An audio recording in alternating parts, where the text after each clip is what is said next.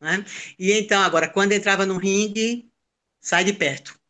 Era impressionante e eu ficava torcendo nas lutas para ver justamente aquelas fotos que eu coloquei no chão, onde ele girava o, o, o, o, lutador e ele caía por cima, né?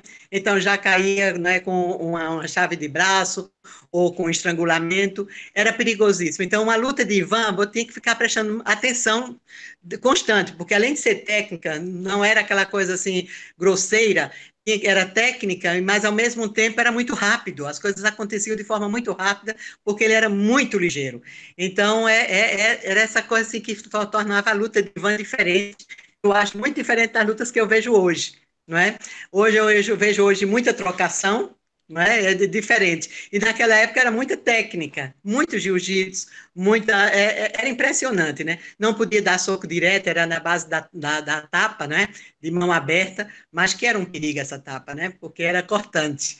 Era, é, era gostoso de ver a luta, porque era um balé, de, de arte, de, de a, a, aliás, é a, o jiu-jitsu é arte, é arte suave, né? Então era suave, mas na hora de, de resolver, ele resolvia com uma, uma, uma preciosidade fantástica. É, é, eu ainda hoje eu sou impressionada com as lutas que assisti.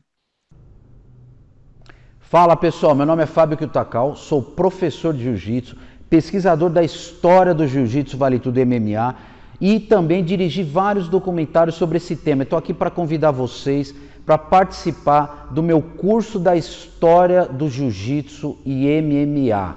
Você que é fã de artes marciais, é praticante e acha que é muito mais importante é, os aspectos filosóficos de transformação que a arte marcial pode trazer, esse curso é ideal para você.